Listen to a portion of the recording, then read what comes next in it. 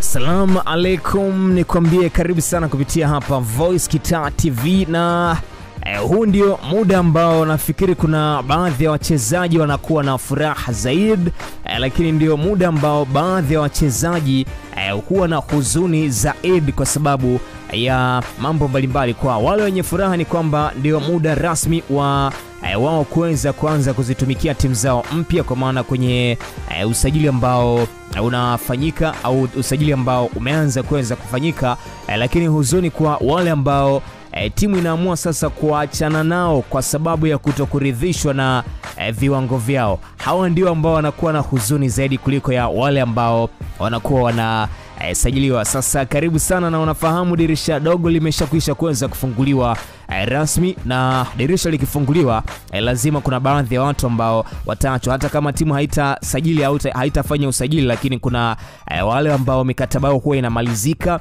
eh, kuna wale ambao eh, timu inaamua kuweza kuachana nao, pengine kutokuridhishwa na eh, viwango vyao na sababu eh, mbalimbali. Kocha wa Yanga Cedric Kanze ndiye bosi wa wachezaji kwa upande wa wachezaji, na yeye ndiye ambaye ana uamuzi na ndiye ambaye anaona kwamba eh, nani na nani wanafaa. Sasa amesema kwamba yapo majina ya wachezaji ambao yeye ameamua kuweza kuwapendekeza au ameweza kuweza kuyapendekeza kuyapendekeza wafanywe nini wachezaji hao, au kuna jambo gani ambalo Cedric Kanze anataka liweze kufanyika ndani ya kikosi cha Yanga.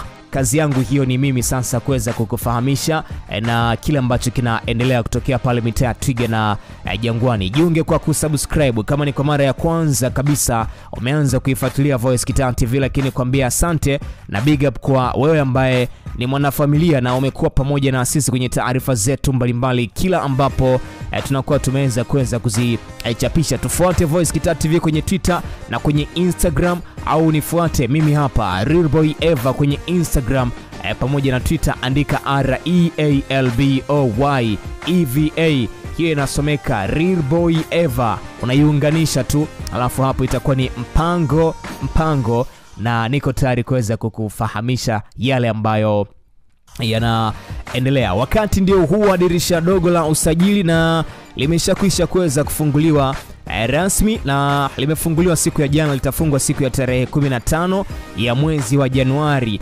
2021. Kwenye taarifa mbalimbali ambazo zimeendelea kuweza kuripotiwa zinahitaja klabu ya soka ya Yanga kuweza kufanya eh, marekebisho kidogo kwenye baadhi ya maeneo eh, kwa mujibu wa kocha Cedric Kaze na kuweza kuona jinsi gani ambavyo anaweza kuweza kuongeza ushindani au kuweza kuongezea eh, nguvu katika kikosi chake hicho eh, cha eh, kwanza. Wakati huu ambao sasa eh, nyota mbalimbali wamekuwa wakitajwa eh, kuweza kusajiliwa katika dirisha dogo hili la eh, usajili ambao tayari imeshakwisha kuweza kufunguliwa.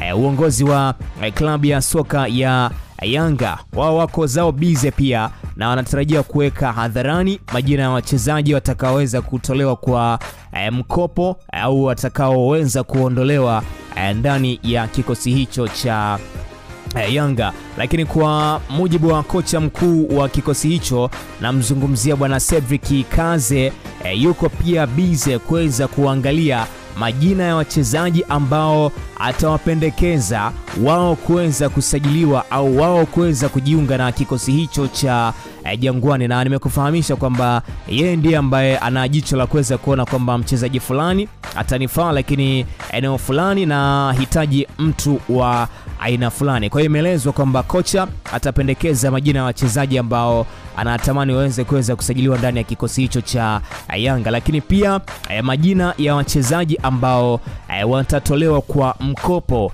ili waweze kupata nafasi ya kucheza zaid ama wachezaji hao kuweza kuboresha viwango vyao eh, na pengine baadaye watakaporudi basi wataendelea na majukumu ya kuweza kuitumikia Yanga. Cedric Kanza amesema kwamba majina ya wachezaji hao yatatolewa na kitengo cha habari eh, cha klabu ya soka eh, ya Yanga eh, Sports Club na jinsi ambavyo mambo yatakuwa. Na Cedric Kanza amesema kwamba watakutana na uongozi pia ili kuweza kujadiliana kama wataona kuna umuhimu wa kuweza kuongeza mchezaji uh, mwingine katika eneo lolote eh, basi watasajili au watafanya hivyo eh, kwa mujibu wa kanuni pamoja na taratibu, kwa sababu eh, ndiyo muda huu au dirisha liko wazi. Kwa hiyo hakuna sababu nyingine yoyote. Kama eh, kutakuwa kuna hitajio ama atahitaji mchezaji eh, basi watafanya hivyo, na Kazi amesisitiza kuwa eh, mchezaji atakayesajiliwa na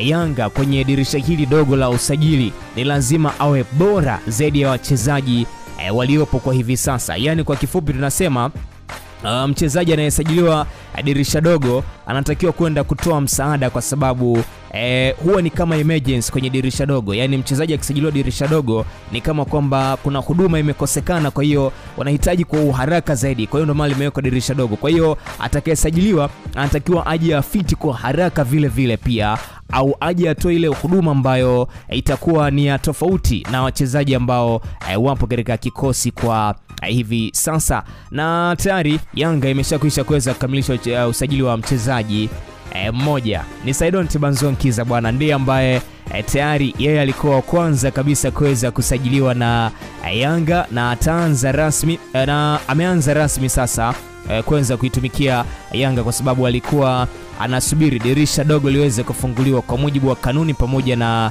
e, taratibu za usajili eh, zinavyoelekeza kwamba E, mchezaji anaweza kusajiliwa kabla ya dirisha, lakini kutumika ni lazima asubirie dirisha litakapokuwa limeweza kufunguliwa ndipo aanze rasmi kazi yake. Kwa hiyo Saidon Tibanzonkiza rasmi sasa ataanza kwa sababu alikuwa anaisubiria tarehe hiyo ya 15 ifike na tayari ishakwisha kuweza kufika siku ya jana, na hivi sasa kilichobaki ni kuweza kuwaonyesha mashabiki wa Yanga kile ambacho e, amekuwa akisifiwa nacho au sifa nyingi ambazo zimekuwa zikielekezwa e, kwenda kwake kwamba ni mchezaji hatari e, na mambo mengine mengi tu. Kwa hiyo tunasubiria kuweza kuona kutoka kwa e, Saidon Tibanzonkiza. Kwa hiyo eh, huu ndio msimamo wa kocha Cedric Kaze pia kwamba kama kutakuwa na uhitaji eh, basi tutarajie kuweza kuona kuna eh, wachezaji au mchezaji atasajiliwa. Eh, Big up kwa Rajab Uhondo.